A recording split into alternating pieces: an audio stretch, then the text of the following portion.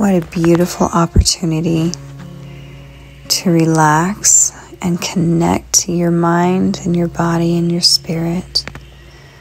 To open up your heart and let God in in these next few moments. As you set your intention to do just that, go ahead and relax your mind and open up your heart. Breathe into your belly and go ahead and stretch those muscles as they relax.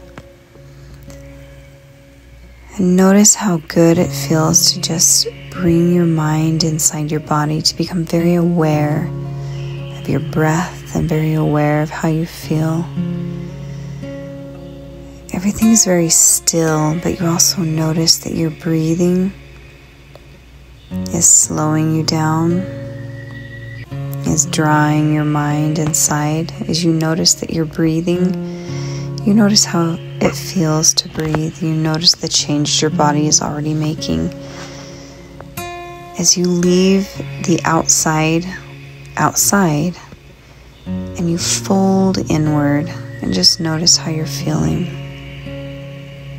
Your mind is already starting to slow down. Your breathing becomes more steady.